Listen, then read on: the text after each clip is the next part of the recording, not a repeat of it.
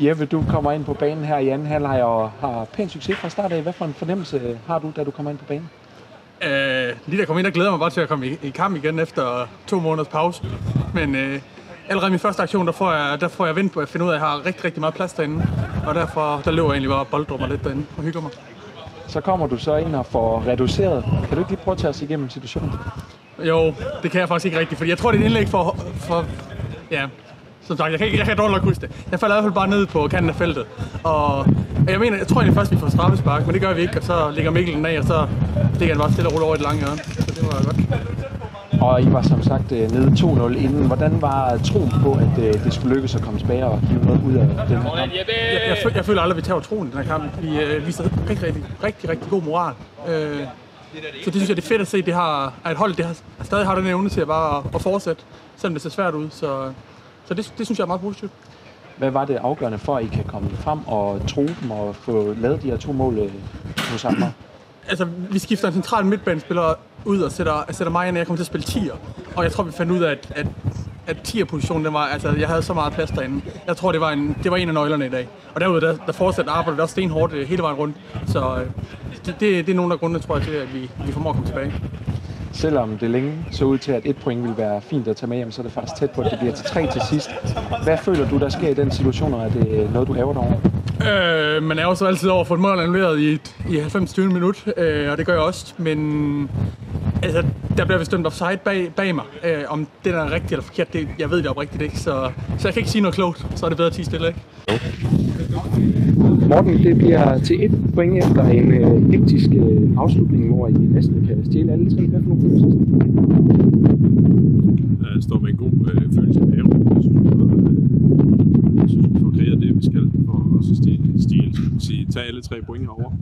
Øh, jeg synes, vores defensive disciplin var god som hold, øh, og, og igennem hele kampen faktisk. Øh, vi ved fra meget, omstillingerne, og det fik vi så også at se igen. Øh, men vi kriger godt med chancer i forhold til, at det er et svært sted at komme og få scoret to mål, og faktisk også et tredje, som diskuteres lidt, som jeg lige ser. Nu har jeg ikke set på fjernsyn igen, men øh, det, det glæder mig til at se.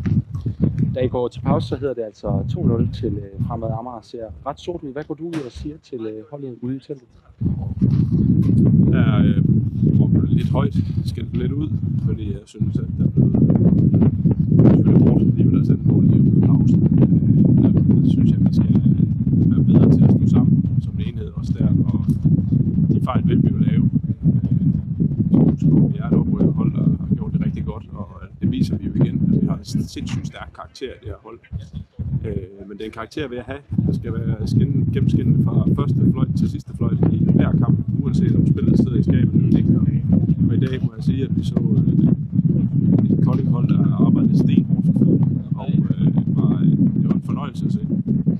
Hvis vi skal prøve at kigge på øh, 2-0-målet, som øh, kommer lige inden øh, pausetiden, så bliver øh, holdet fanget højt op i banen og meget, meget, meget omstiller. Hvilke tanker gør du dig om det mål? Jamen, det var noget, det var noget tjusk, synes jeg. Fordi vi kommer til at ligge og spille ind i, i mellemrummet, hvor egentlig vi bare kan vende hjem eller spille på ydersiden igen. Og hver gang vi spillede på ydersiden, så var der jo ingen far på færre. Og øh, det, det er jo lærepenge. For det er jo egentlig de unge drenge, der, der, der bliver straffet for det. Altså, og, men det er selvfølgelig højt i banen, så er lidt, lidt ærgerligt over, at vi ikke får det stoppet. Øh, men det er selvfølgelig svært at stå her og gengive situationen 100%. Øh, men, men det var en, en individuel fejl, som kunne have været undgået desværre lidt kynisk, når man også kigger på uret og siger, okay, nu skal vi lige til pause. Øh, man kan sige, at hvis det kunne have været 1 så, så. På, på den positive side, så kommer Jeppe Hansen så ind i anden halvleg og har faktisk fra første aktion succes. Hvad, hvad har du at sige om hans øh, indhop? Det er jo fremragende at se, at Jeppe kommer ind med sådan øh, hurtige vendinger og fodsårsrullinger, selvom han er 91. Altså, det, er jo, det, det, er jo sådan noget, vi godt kan lide at se, fordi han også lykkes med det. og Han får output på det, han laver.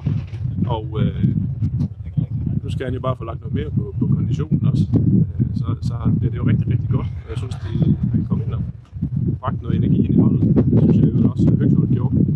Øh, kom ind og tog styring på de dueller, han skulle. Og øh, det er jo fedt at have nogen udefra, man kan skyde ind, der giver energi til holdet. Så at tage hjem med et point i bagagen, er det tilfredsstillende, eller savner du mere? Nej, jeg synes, det er tilfredsstillende, når vi er nede 2-0. og at vi viser den karakter, vi gør, det kan vi, det kan vi bygge videre på.